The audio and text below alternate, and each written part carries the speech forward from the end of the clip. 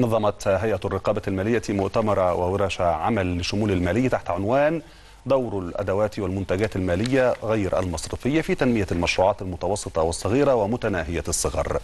وذلك بمناسبة اليوم العربي للشمول المالية. وناقش المؤتمر في الجلسة الأولى أهم التعديلات التشريعية والتنظيمية لتطوير القطاع المالي غير المصرفي والتأكيد على أهمية التثقيف المالي. بالإضافة إلى المبادرة القومية للشمول المالي ودورها في تيسير النفاذ إلى التمويل أو لتمويل المشروعات المتوسطة والصغيرة ومتناهية الصغر.